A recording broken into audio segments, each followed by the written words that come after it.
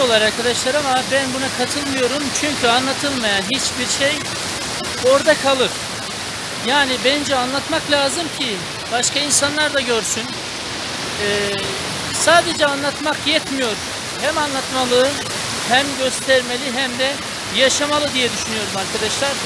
Çarşamba çayının doğduğu yer burası işte. Buraya aygır deniyor arkadaşlar. Aygır dibi. Yani çarşamba çayının nereden doğduğunu merak edenler için buraya kadar geldik arkadaşlar. Yani anlatmak şart.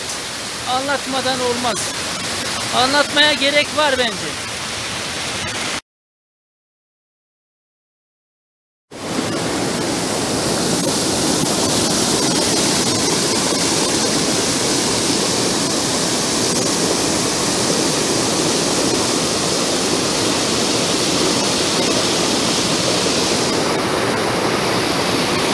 Çarşamba çayının kaynağındayım arkadaşlar.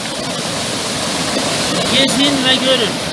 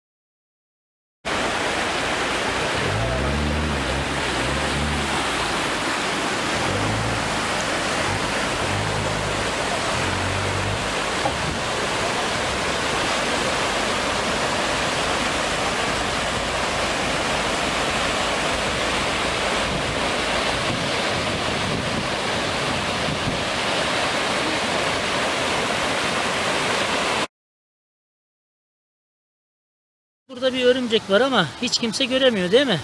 Ama şimdi bak birazdan dokunacağız. Hareket edince göreceksiniz. Yani gerçekten çok şaşırtıcı bir e, bu kalemun gibi kamufle oluyor.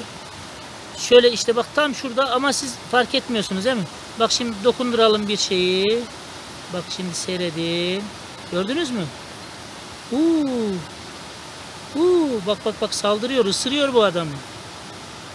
Evet ısırabilir bu. Çok tehlikeli.